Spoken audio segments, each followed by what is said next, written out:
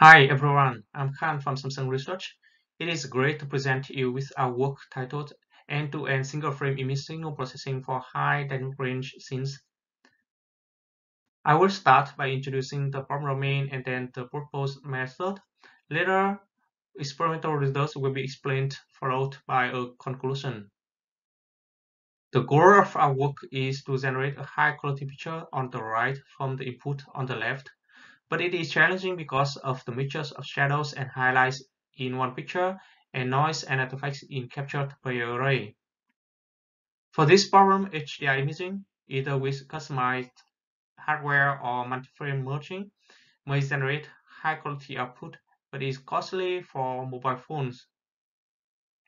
One can apply inverse tone mapping and low-light image enhancement to the area picture, but ISP artifacts in area picture might remain. The whole ISP can be learned like PyNet or CameraNet. However, either unfaithful color may be generated or both clean colors and color sRGB need to be available. As in the left figure, our method takes input of Bayer arrays regarding labels of multiple frames merged pictures. Our network architecture on the right figure has main blocks of brightness enhancement and color processing. Brightness enhancement is to enhance detail of shadows without saturating the highlights. We learn increment in stops of exposure for each pixel to flexibly deal with fine detail shadows and highlights. We further improve by learning multiple stops for each pixel and mixing them together. Besides, the color of each picture is related to camera settings at the capturing time, represented in color correction and white balance matrix.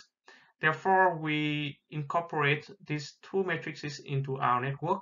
We push it to forward by generating multiple sRGB candidates and mixing them later by a CNN network. We trained our network with different losses in either low or high frequency. The pixel intensity is uh, regulated by exposure and brightness losses in frequency low frequency domain, while Pixel detail is learned by enhancement loss in high-frequency domain. We add adversarial loss to pursue the realness of the output. We trained our network with uh, a HDR Plus dataset which has then more than 3000 pictures. The curated set of 153 pictures are used for testing. Our, our network has about 12 million parameters and the inference time is about 15 seconds for a 12K picture. Objectively, compared to related work in this table, we outperformed them in common image quality assessment metrics such as PSNR and SSIM. Subjectively, related work may not enhance the shadow in Bayer array denoising LDR or suffer from annoying noise in low light enhancement and inverse tone mapping or force color in end-to-end ISP of PyNet. Contrarily, our network brightens shadows and generates rich details and sharp edges.